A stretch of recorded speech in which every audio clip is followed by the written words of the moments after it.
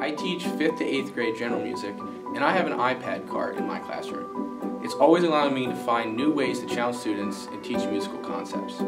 We use various music apps to introduce and reinforce music theory, rhythm notation, improvisation, song structure, live performance, among many other things. I really love using the GarageBand app in my classroom because it allows students to create and record their own music. Students use smart instrument features such as the smart guitar, smart keyboard, smart bass, and so on, and mix them with the endless possibilities of the loops to record songs of various lengths and forms. The iPad offers the ability for students to also record narration and lyrics, so we can explore many different styles of music and genres. Another great feature in GarageBand is the jam session mode.